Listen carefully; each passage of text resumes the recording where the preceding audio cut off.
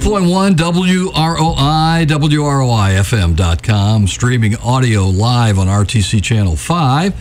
Audio and soon to be video on RTC Channel 4. That's why Brant's back in the studio. Hello. Hi. I didn't leave. Got your own coffee cup yet? My own coffee? cup? Yeah. Not yet. Not yet? All right. We'll work on that, okay? I look forward to it. Gosh, I don't even have one yet. It's been 10 years. So. That's John Alley. He's president CEO Woodlawn Hospital. Good morning. Good morning. Thanks for being here today. Hey, my pleasure. All right, let's talk about the Board of Trustees Board meeting yesterday. Yes, we finally, uh, every year we go through an independent audit uh, that come in and want to certify that what we say on our financials are really what we did. So uh, that presentation was yesterday to the board. BKD was the firm, and uh, it's a new firm for us. We'd been using Blue and Company. One of the things I like to do is every five to seven years to switch audit firms. Uh, not because the other one did a bad Right. job. It's just that staff and myself, you kind of know what they're going to be looking for. So if you had that p- potential for somebody wanting to do something inappropriate, you know, it kind of makes it easier. With a new audit firm, we don't know what they're going to be looking at, so it gives a fresh set of eyes. So they came in, did that presentation for us yesterday to the board, got an unqualified opinion, which is what you're looking for. That means that there was no issues they found, there was no material adjustments they need to make, and uh, so that's, you know, it's kind of good that you know confidence in the staff that we've got uh, our processes in place that we need to have to make sure we're doing things right. Uh, each year we get a, you know one of their audit comments is well you need more segregation of duties. Hard to do in a small facility. I think you've had that comment we, before. we've had it every Yes, year. That's what I and, thought. Uh, you know, we tried to see how can we move some stuff around so we don't have the same person, you know, controlling a, a major portion of any one process. But just kind of difficult in a small facility. But we keep trying. Can we move some stuff around to try to, you know, meet some of the standards? And they even said, you know, if to truly meet the standards, we need to hire about another 25 accountants. So uh, that's not going to happen. But we're, we're, we're doing a pretty good job very pleased with the results this year that uh, no audit adjustments and we did get our unqualified opinion kind of shows everybody's on the same page. that we're doing what we need to do. And, you know, it's kind of tough when you start considering the number of regulations that we have as far as reporting and how we're, you know, financially to report and do things. That uh, tells me the staff doing a good job keeping on top of those changes and making sure we're adjusting. As those come out, we're adjusting our operations.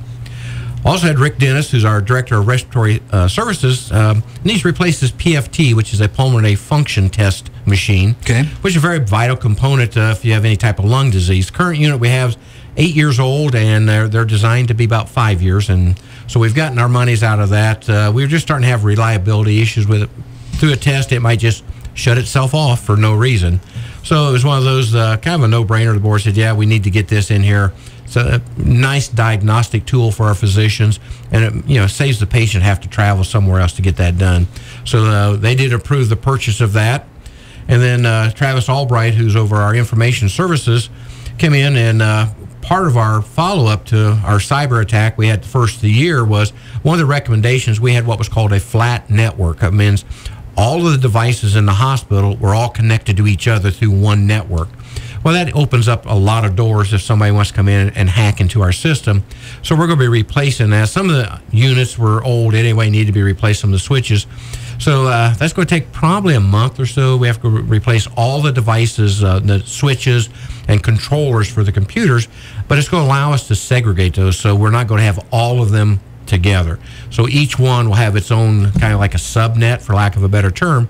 So if we do see an attack on one area, we can isolate it so it doesn't get to the whole hospital. And you know, we've been uh, kind of learned our lesson. You know, when we had our attack before, that uh, you know, the more doors you put up, make somebody get through, the less likely they're going to do it. So we're trying to put as many doors as we can. If they get through one or two, maybe they'll get discouraged and go somewhere else. And just cyber attacks is a big thing It anymore. is. You, know, you read about it just about every day. I think there was a new one I just Right. heard this morning. I haven't seen details on it yet. Kind of nationwide, another cyber attack. and one of the one of the pharmaceutical companies, Merck, I think, was hit by that cyber attack. And uh, so you know, you just got to really put your firewalls in place and all the the things that are out there. And you know, when you start talking some of this technical stuff, the you know, they're 28 letter words, but uh, you know, I said, what thing majig do we need to make sure it doesn't happen again? So that's kind of what we're working on. Put all those safety nets in place so that we do have a very secure network in the hospital so we can protect the information that's there, but more importantly, allow us to continue operating because when they attack your system, you're dead. You're, you're down in the water, and we've got to the point everything is so computerized now, it's very difficult to kind of go back and realize, Sure. you know, not too long ago we did this all with pen and paper, and uh, you know some of the new staff, you know, you look at them, they go, well, "What's? How do you do that?" so it makes you feel real old when they they don't remember some of the good old days of pen and paper. Is that expensive to do, John? It's very expensive. You know, this project, uh, just to replace all those network devices, is going to be around $161,000. Fortunately, you know, the, the vendors that put this equipment out realize it's expensive. And so, you know, they're offering us uh, five years, no interest. So, you know, we can do it over a, a month at a time instead of having to pay all that money up front. So that helps from the cash flow perspective. But really need to get this done to really, that is kind of the final phase of our protection for our information system. And I think once we get that in, you know, nothing's 100%, but it's going to put us up there. So it's going to be very, very difficult for somebody to get in and hack our system. But like anything, if one in bad enough and you have enough resources, you know, they could probably still penetrate. But what we're hoping is, again, they get tired of trying and find somebody easier and uh, let them move on and, and find a much easier target to get into. So, Well, we're talking about computer technology, John. I know that Woodlawn encourages their patients to file their information online, to find their information online, to set up the portal to do that. Yeah, we've got the portal set up both through the physician offices and the hospital.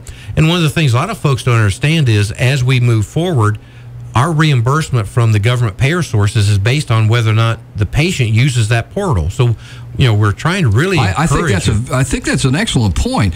Case in example is me, and I've I have just uh, sloughed it off a couple times, but I need to do that. Yeah, set up that portal so we can have Right. that, that communication back and forth because what the you know the ultimate goal is 10 years from now is that no matter where you go your medical record can be accessible so if you're on vacation somewhere and have an accident you know that facility can get online and instantly see what meds you're on what tests you've had which is for your safety Sure. as you move around the country Sure. and so it's, it's hard to get folks oh i don't want to and i'm kind of that same way you know i get those portal messages all the time. How much information do I want yeah, so I just call the office and they say, John, use the portal. You know, Right. because again, we have to demonstrate that folks are using that because otherwise we get penalized for not having enough traffic over that. And so it cuts the reimbursement from the government payers. So we're probably going to start pushing that even more. For a while, uh, you know, the, the threshold was we'd have 5%. Then it went to 10. Well, now it's going to go to 40%. Wow. So we really got to start pushing that portal. And so if you haven't set up a portal yet, get with your provider or call the hospital. And it's fairly simple. Okay. We, we can set you up via the internet. Uh, you can get in, and at that point, you can access your records. So if you've had some lab work done, some X-rays, that data is out there. The messages from your physician, they can you know How communicate far with back? you.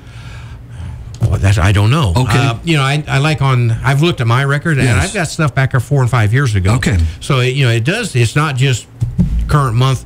It maintains that history. So anytime you've been in, you can get into those records. So definitely encourage folks to get into that portal. Um, you know, not only does it makes it easier for you, you can set up appointments through there. You can make payments through there. You can see your your results. It actually helps the hospital long term by helping the, you know us to get maximum reimbursement for the services we provide. Okay. So that that project's coming. Probably go to, like I say, about a month, month All and a right. half to do that once we get that started. So you know it's going to be a little inconvenient for the staff because you're taking you know It's a lot of information. taking the system offline Sure. for a little bit while you put the new unit in. So uh, we're we're trying to map that out, make it as least intrusive as we can. Finally, got into the financial report for May. Uh, gross revenue about 11.8 million is what we billed out. Uh, we wrote off 7.5, staying right in that. You know, about 60 percent of what we bill or so we write off. So uh, you know, it left cash for us to play with, so to speak. 4.6 million, and uh, we spent 4.6. So we actually had a, a loss of about two two thousand dollars for the month. So pretty much a break even Okay. for the month.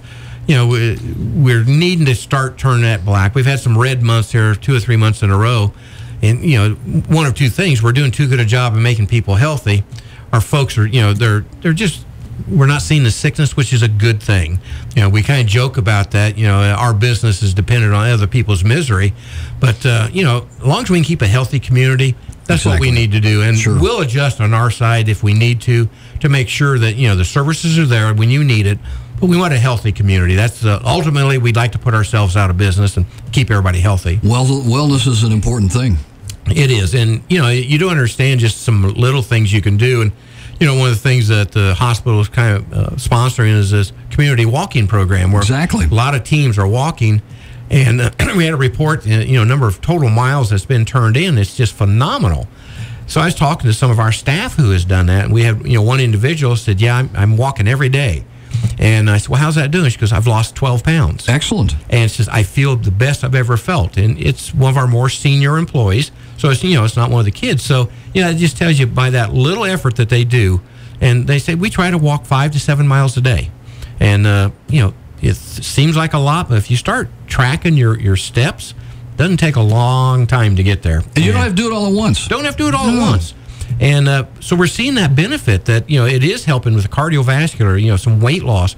And they say I feel better now than I've ever felt before, just by doing that small thing of you know walking a little bit each day. So definitely promoting that. You know, you know, go out there and, and get your steps in, uh, whether you track it or not. Just go out and. Uh, Last night, perfect night. Perfect night to go walking last night. So, you know, go out, get outside, get some fresh air, and get some miles in. Exactly right.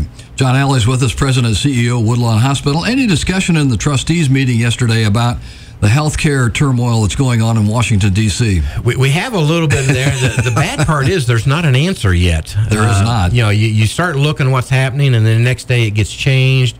And then the next day, well, you know, those who were, vo- were going to vote for it said, now I'm not. So it's really up in the air. Um, you know, one of the things that's kind of disheartening for us is, you know, we're getting notification as we move into 2018.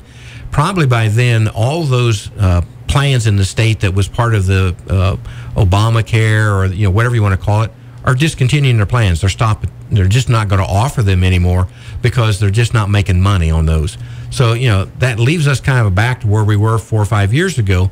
You know, folks who don't have the means to get insurance now there's no product for them. So you know, as we do our budget for next year, we got to put that in there. Some of the, the things we're hearing from Washington is that they're going to cut down uh, Medi- Medicaid funding to the states. So that means less dollars for the states. So that means less dollars for the providers. So you know we have to react to that. You know, you, you, how do you handle that? We still want to treat the patients, but we've got to find other mechanisms. You know, to reduce our cost where we can, so that you know we can stay as a viable institution. So it's, it's going to get more and more difficult for everybody as we move forward.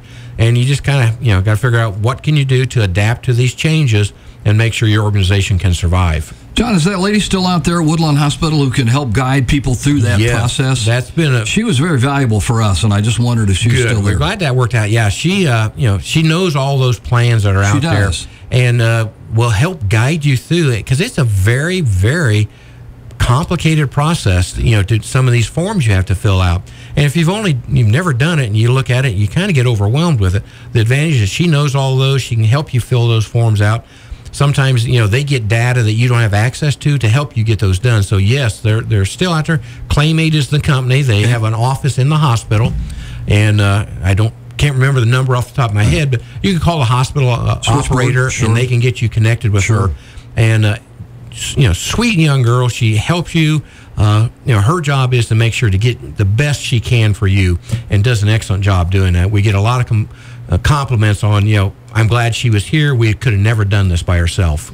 And one of the plans that uh, you and I had talked about here a while back was one that Woodlawn was not a part of, but is now, and so Right. that uh, becomes a, a possibility as well. Yeah, what we try to do is we kind of in try to keep in front of the new plans coming out, and sometimes you know one will slip through. So you know, as soon as we find out about that, you know, which you kind of brought to my attention, I we go back and say, okay, let's get in that because we want to make sure that you know we're providing coverage for you. So if you've got a specific insurance plan, we want to be part of that network, and we're going to do whatever we can to get into it, so that you know you are covered locally. You don't have to go out of town to get your health care coverage. Is it your understanding then that Anthem and MD Wise are pulling out at the end of this year? That's what we're. I know Anthem is. We received notification on it, and I just heard uh, today that MD Wise has not officially announced, but kind of saying we're probably going to be out of out of the pool come 2018. So, you know, yeah, we're we're starting to see more and more of those pulling out, and uh, you know, it's unfortunate because it it did serve a, a very vital need for a lot of folks that got them you know nice healthcare coverage for a low cost. Exactly right. John Alley, again, President and CEO, Woodlawn Hospital. Interesting times for the hospital business. It, it is. You know, everybody keeps saying, uh, you know, when are you going to retire? And I said, whenever I start getting bored. So I, it I might be another 20 years. Who No. knows? Yeah. I think you'll be here for a long Yeah. time then, if it's going to come down to that. Yeah, it's John. very Anything else you'd like to add this morning? But we Just- appreciate. Be careful on the fourth. be right? careful on the fourth. You know, we've got that coming up, and you know, be considerate of your neighbors. Um, enjoy your Fourth of July, but do remember a lot of us have to go to work that next day, so try to shut them off around eleven o'clock. Uh, please, please do that. Remember our Yeah. pets too. Yes. Don't like those as well. yeah, so be, just be careful with them. Uh, you know, we we've got a lot of very powerful fireworks that can be purchased, and and uh, we just don't want to see you or uh, your family members come in with a very serious injury from you know these fireworks because you just you know you don't know how they're going to work, and so be very careful with them. All right, John. As always, thanks very much for the report. We appreciate it. Thank you.